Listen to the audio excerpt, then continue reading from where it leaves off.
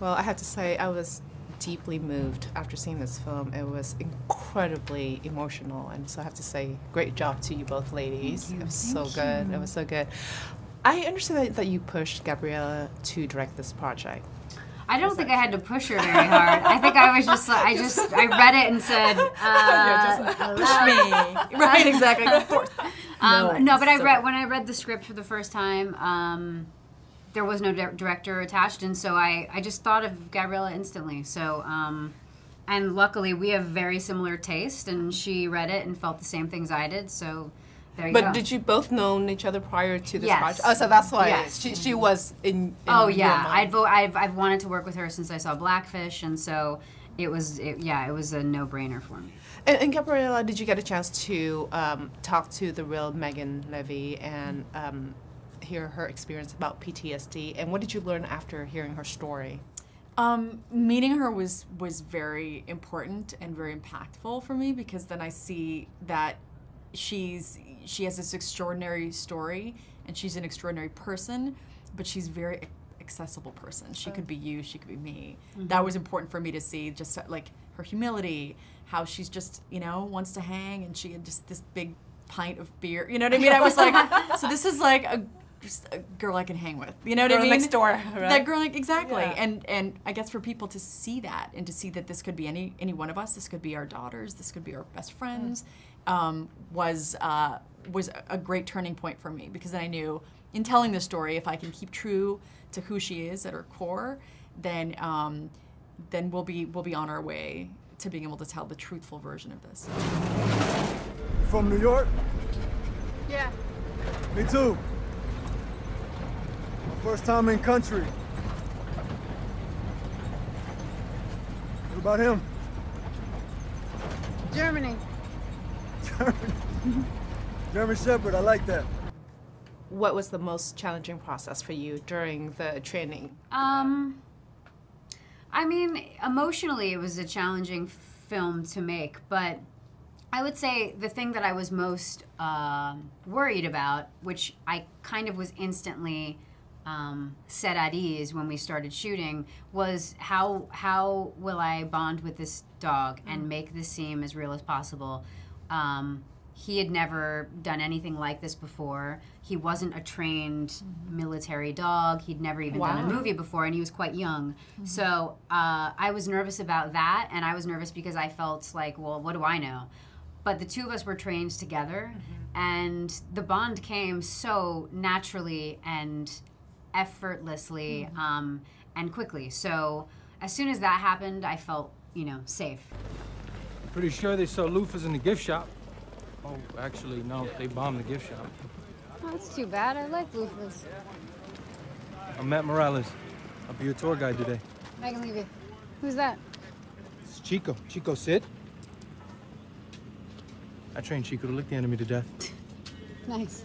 And how often, like, do people in, in, the, in the military, like, do their relationship last? Let's say your character, you fall in love with Matt Morales. What's the percentage of military people date in the military and then maintain that lasting relationship? I have no idea, but I, what I liked about our version of you know the relationship between Megan and Morales was that it wasn't like a cliche. Mm-hmm.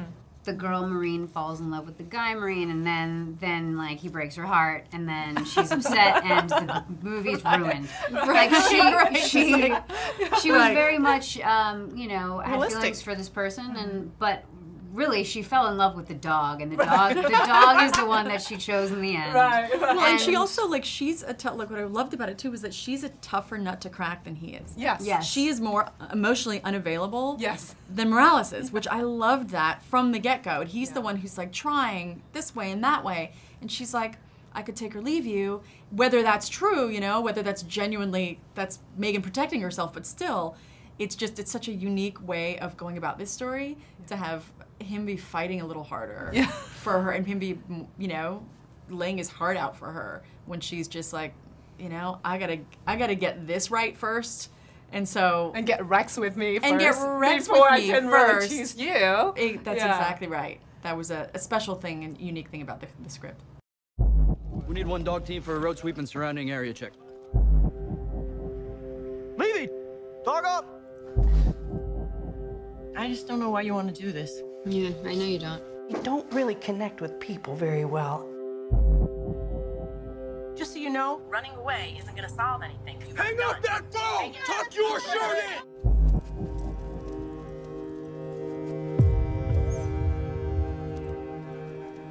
Found something! Good boy. I've been watching this dog all year. He's the most aggressive dog I've ever treated. Does he really need another break? It's not like he hasn't earned it. You're getting a dog. You got this? Think faster. Yeah, I got this.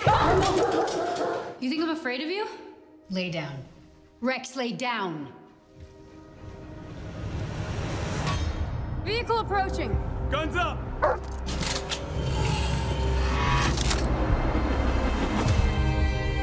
Why'd you join? To get away from my life. We're shipping out tomorrow. We are so not ready for this. Clear. Leavey, check the vehicle.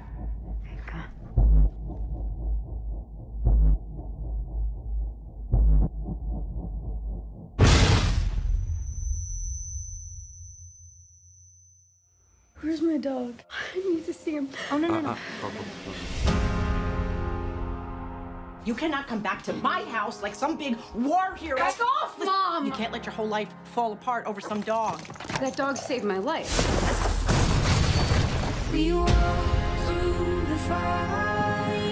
Please just change his classification so that I can adopt him when he gets back. They aren't pets.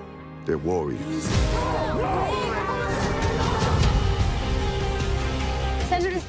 Moment of your time? His name is Rex. He saved thousands of lives in Iraq. What did you say your name was? Corporal Megan Leavey. All you gotta do is fight. And you know how to fight. You're a Marine. What would you say to Rex if he were here? I'd thank him for teaching me what love is. Is there a way out?